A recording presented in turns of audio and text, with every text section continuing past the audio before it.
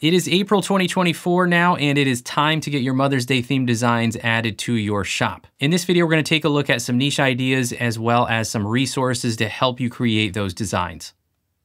All right, let's start by taking a quick look at our timing to make sure that we have good timing here with when we're publishing these mom themed designs. This is the past five year search volume trending on Google Trends for the term mom gift. So it's not specific to one product, but just gifts for mom. And if we look back at the last five years, there are two peaks each year. One, as you can imagine, is in the fourth quarter, and the most recent one here was in 2023. We had a peak in the time frame of December 17th to the 23rd. So, of course, in the US, that is corresponding to Christmas time. But if we look back, there is a slightly smaller spike after Christmas every year, or actually before Christmas every year, and that is the Mother's Day time frame. And last year, the top of the peak was May 7th to the 13th. The year before that, May 1st to the 7th. So it varies just slightly depending on the actual date of Mother's Day. But what we really want to look at is when does it start to increase? And last year, it really started picking up around April 16th. Right now, is the perfect time to be working on these designs because the date I'm recording this is March 30th. I'll be posting this on April 1st. And so getting those designs published right before that April 10th to April 15th timeframe is the perfect time to take advantage of that little bit of a listing bump that Etsy gives to new listings in search results. You don't get very long. Of course, any mom theme designs again have potential to sell a lot later in the fourth quarter for the holidays. So you have the potential of getting a couple of good spikes during the year. And of course, mom themed designs for any, you know, sub niche or any cross niche can sell at any time during the year. It's just the big opportunities are Mother's Day and around Christmas. All right, now the first type of design that I want to talk about is a mom themed repeatable design. Lately, I've really been liking the repeatable designs because I can create several new design listings quickly without having to do lots and lots of research in between the designs that I'm creating. So, the first one we're going to talk about is one that I have mentioned recently, and that is Dog Mom or Cat Mom. Specifically, Dog Mom, I think, has a great range of opportunities here because of dog breeds. So, we're taking a look at eRank here. I don't talk about eRank a lot, but I thought why not use it in at least a couple of videos because it is a great tool for especially new Etsy print on demand sellers because they have a free version. It does limit you to the number of times per day you can run keyword analysis, and it limits some of the things you can see. I currently have the basic account, which is $6 a month, so it's pretty reasonable. And I think it's a great way to get started doing some research. Now, there are lots of Etsy research tools out there at this point. I still personally use Sales Samurai. I also occasionally use Everbee. Everbee is another good choice that has a good Chrome extension. Sales Samurai has a Chrome extension that I really like. So there are a lot of options. They all have pluses and minuses. eRank is more of a pure keyword research tool, which focuses on trending volume as well as giving you average click through rates. And you can also see the search trends on Google and on Amazon. But this video is not about the keyword research tools. So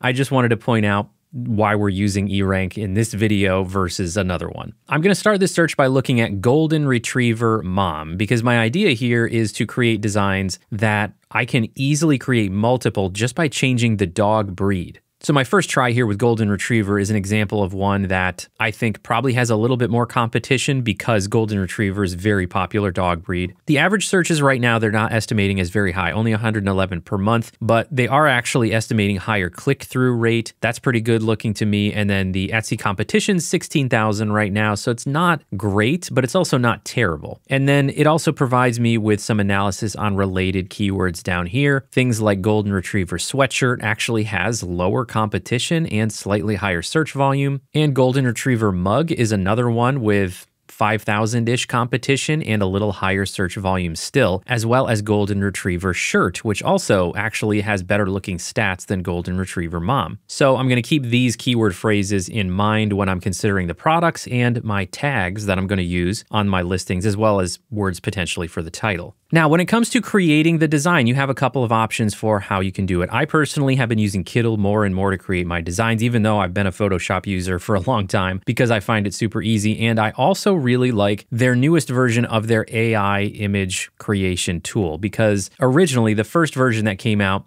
was very hit and miss for me. I would put in prompts and it would generate, you know, stuff that you definitely couldn't use. But with the most recent version, I've been getting really good results from it, especially on things like dogs or the mascot style sort of retro images. But I created this one of a golden retriever just by putting in a very basic prompt. And it's a, a very usable image that came out of it. I mean, look how nice and colorful and detailed it is. And I've got my first design here. So we'll come back to this in just a second because I want to show you the rest of my process here. But let's just talk about a more traditional sort of source for graphics like Creative Fabrica. So all I did here was run a search for Golden Retriever Mom on Creative Fabrica, which is still, I think, a great value for the price for what you get. So in this search for Golden Retriever Mom, what I want to do is look on the left menu here and select the checkbox for print on demand because I want to make sure I'm only seeing search results that have the proper licensing to use for print on demand. So even for these simple ones, you know, you can save yourself some time potentially. Now, I don't personally like to use ones like this that we're looking at in the middle here, where it is completely finished, like Golden Retriever Mom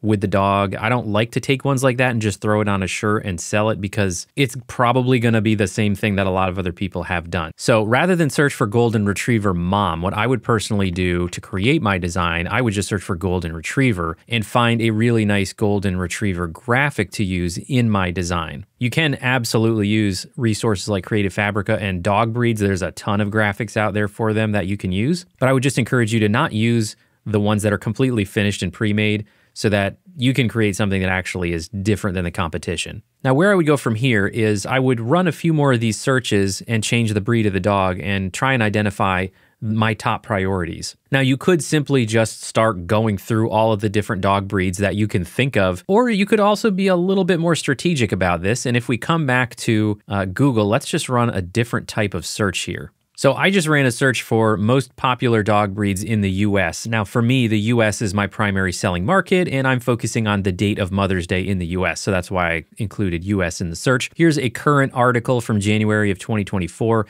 on Forbes. You could look across multiple websites for this type of a thing, but this is what I'm looking for. I'm looking for what are the most popular breeds of dogs? So French Bulldog, Labrador Retriever, Golden Retriever, German Shepherd Poodle. You can see the rest of the list here. So I'm going to use this information to sort of guide my research and see are any of these, you know, do any of these have better search volume? or lower competition. Now, interestingly, even though that is currently the number one most popular dog breed in the United States, I'm getting no results here or unknown on eRank, and that is likely because the search volume is too low for it to tell. However, if we scroll down and look at the related uh, terms here, French Bulldog shirt has about 200 searches per month and about 11,000 competition. French Bulldog Gifts has about the same but higher competition. So this one, I don't know, may not be the best choice to go with based on what we're seeing here and about 18,000 competition for French Bulldog Mom. So this one may not be the best choice. Now, one other thing I should point out is keep in mind if there are like nicknames for dog breeds, you have to keep that in mind as well for search terms. So for example, French Bulldogs are often called Frenchies, and that is something to keep in mind. You might need to check out the search term or even put the word Frenchie in your design as well as French Bulldog. So I'm going to click on this artboard on the name again to get it highlighted. And then I'm going to right click on it and I am going to click on copy and then click off of it anywhere in the open space here and click on paste. And that is going to duplicate this artboard for me. Now I can go ahead and reuse this whole finished design. I had grouped all of these design elements, so I need to ungroup them here in my newly created one. So I'm gonna ungroup everything here, and I'm gonna remove the golden retriever, and we're gonna call this one French Bulldog. Now I'm going to put in a prompt into Kittl AI here for a French Bulldog. And the image style that I had selected for the first one was this one that actually is already a dog, the watercolor option. All right, now we'll let the AI image generator go with that prompt and see what we get.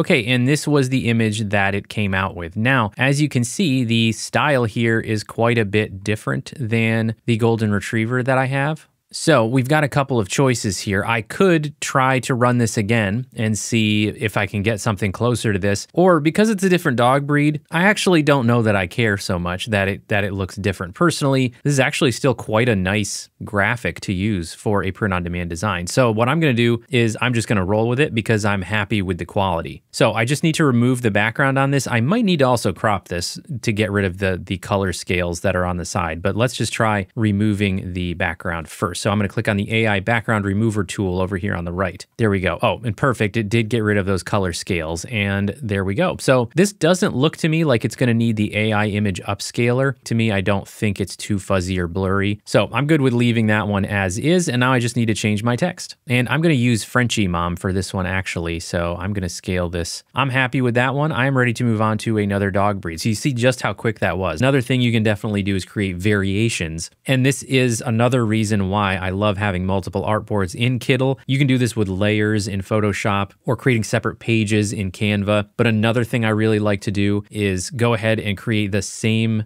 design, but just change the actual graphic to give customers another option. So let me add that as another copy. We'll get rid of the graphic and I'm just gonna put another prompt in here. And let's do it with the t-shirt graphic style this time and see what it comes up with. I'm gonna leave the prompt the same, but just change the style.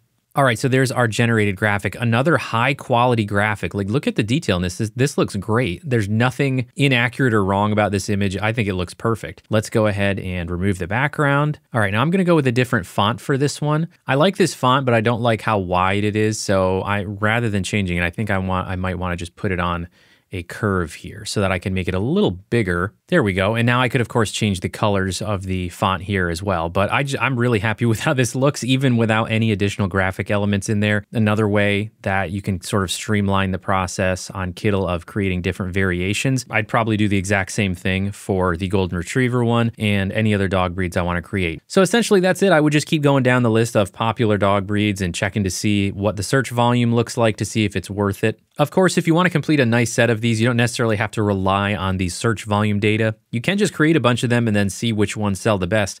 All right, now we're going to use eRank to find one other idea for Mother's Day this year, another sort of sub niche or cross niche opportunity. And for this one, I'm going back to the, the basics of keyword research here. I'm just putting in mom shirt, and we're going to see the keyword ideas down below. We're going to look for higher volume and lower competition. So naturally, mom shirt is not a phrase that you want to rely on to place in search results because yes, you have 10,000 monthly searches and that's going to spike around Mother's Day, but you've got 1.5 million in competition. So you're not going to rank on page one of that search without using some other keywords to get yourself onto page one. So if we look at the rest of the data here, on the first page of results, I already see potential for one direction I could go. Volleyball mom shirt is one of the options down here. And you can see average monthly search volume is really high, over 900 monthly searches. You've got a high click through rate and you've got 15,000 competition. Now, 15,000 is not, you know, insignificant competition, but I'd be comfortable creating a few volleyball mom themed designs and seeing if I could, you know, crack my way into this niche. So let's go to page two here and see what else we've got. We've still got lots of high competition, high saturation niches here.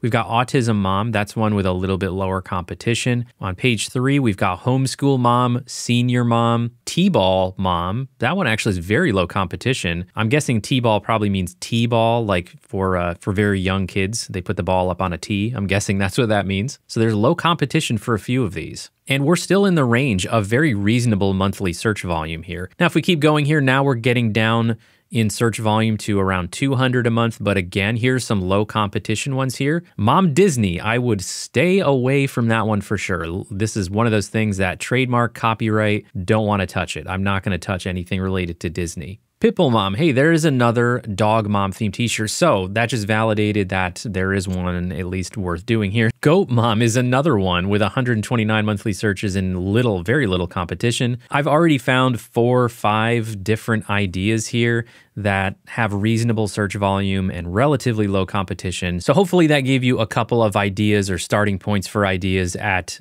sort of niching down, going further into the niche for just, you know, mom t-shirts and things like that. So that'll do it for this video. I hope it was helpful for you. Let me know down in the comments if it was or if you have any questions about this process and how I go about creating multiple repeatable designs while still doing sort of the typical research that I would normally do. Don't forget to subscribe to the POD Insights channel. Thank you to all subscribers. I really do appreciate the support. Thanks everybody.